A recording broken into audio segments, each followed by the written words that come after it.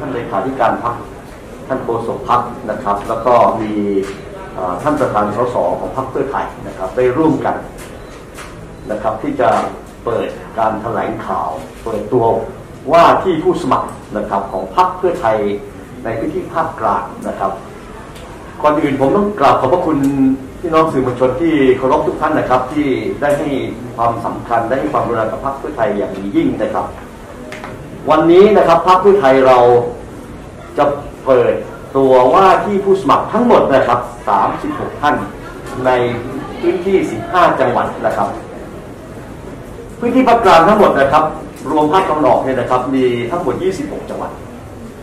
มีสสทั้งหมด 106 คน จากเขตเลือกตั้งนะครับ 106 คนพรรคเพื่อไทยเราตั้ง ใจตั้งเป้าส่งทุกเขตนะครับนั่นคือหมายว่า106คนเราส่งหมดนะครับ ใน 26 จังหวัด แต่วันนี้เนี่ยเราเปิดวันนี้ 36 36อ่า36 ท่านนะครับ ที่จะเป็นว่าที่ผู้สมัครของพรรคเพื่อไทย ผมนำเรียนพี่น้องสื่อมวลชนด้วยความเคารพครับเหตุที่ใช้คำว่าว่าที่ผู้สมัครเนี่ยมันจะต้องเข้าสู่กระบวนการตามกฎหมายในการสรรหานะครับ และการคัดเลือก ตามที่มีกฎหมายว่าด้วยพักการเมืองและกฎหมายเลือกตั้งมันอยากไว้นะครับ ในชั้นนี้จึงจำเป็นต้องใช้คำว่าว่าที่ผู้สมัครไปในเบื้องต้นนะครับ ว่าที่ผู้สมัครของเราจะลงไปทำงานในพื้นที่ครับลงไปทำงานในพื้นที่ เพื่อบอกกับพี่น้องประชาชน โดยเฉพาะคนภาคกลางนะครับ ผมกราบเรียนไปยังพี่น้องประชาชนคนภาคกลางที่เคารพครับภาคกลางเป็นภาคเศรษฐกิจใหญ่นะครับ ของประเทศนะครับ 26 จังหวัดของท่านเนี่ยเสมือนแกนกลางเสมือนหัวใจนะครับของประเทศ ความอยู่รอด ความเจริญความมั่งมีของประเทศโดยรวมนะครับ ส่วนใหญ่มาจากพื้นที่ภาคกลางเพราะฉะนั้นพรรคเพื่อไทยเราเห็นความสำคัญตรงนี้นะครับ เห็นความสำคัญตรงนี้ เพราะฉะนั้นว่าที่ผู้สมัครของเราครับจะเป็นเสมือนจุดเชื่อมระหว่างพรรคเพื่อไทย กับพี่น้องประชาชนทุกจังหวัดในภาคกลาง เพื่อจะไปบอกกล่าวกับพี่น้องประชาชนทุกคนว่า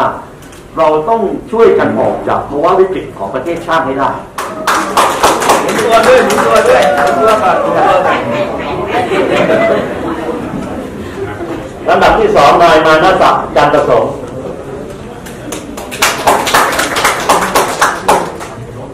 ลำดับที่สามนายมนตรีตั้งเจริญถาวร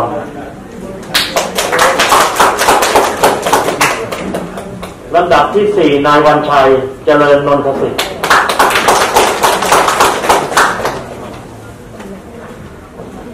ลำดับที่ห้านายพลนัทศรีอินสุดอ๋อติดภารกิจนะครับตักตัวอยู่ขออภัยครับ ไม่ใช่ติดภารกิจนะจังหวัดพระนครศรีอยุธยานะครับลำดับที่หนึ่งนายอนนบอารีวงศ์สกุล ลำดับที่สองนายวิทยาบุรณสิริโอ้เสียงเกรียวกราว FC เยอะลำดับที่สามนายอาทิตย์ภาคอินทรีย์ลำดับที่สี่นายกีรทัศน์ไกรเดชา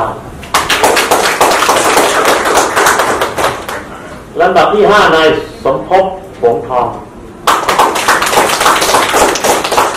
ก็รวมทั้งหมด 36 ท่านนะครับ เป็น